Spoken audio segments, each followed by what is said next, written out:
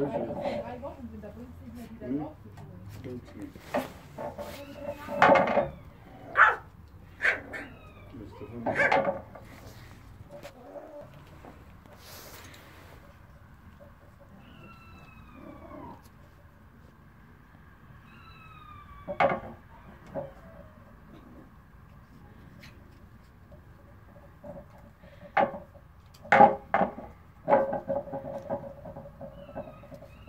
嗯。